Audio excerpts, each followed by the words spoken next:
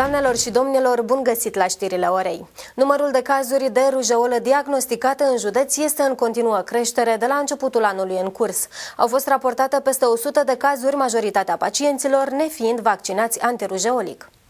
În situația dată, autoritățile sanitare reamintesc părinților că vaccinarea antirujeolică este singura metodă de prevenire a îmbolnăvirilor. Direcția de Sănătate Publică Suceava a precizat că de la începutul acestui an și până în prezent au fost raportate 108 cazuri de rujeolă. La 90% dintre pacienți au fost prezente forme ușoare și medii ale bolii. DSP Suceava menționează că cei mai mulți pacienți diagnosticați cu rujeolă nu erau vaccinați, iar grupa de vârstă cea mai afectată este cea a sugarilor sub un an, majoritatea neavând administrat administrată nicio doză de vaccin, fie din cauza vârstei foarte mici, fie pentru că părinții nu s-au prezentat cu copiii la medicul de familie pentru vaccinarea antirujeolică. Conform DSP Suceava, contagiozitatea rujeolei este extrem de ridicată. Un singur pacient poate îmbolnăvi la rândul său alte 16-18 persoane. Totodată, autoritățile sanitare arată că acțiunile de promovare a importanței vaccinării pentru sănătatea populației întreprinse de personalul medico-sanitar, susținute de toți factorii implicați în viața comunității, poate duce la realizarea unei acoperiri vaccinale optime. În județul Suceava, acoperirea vaccinală este de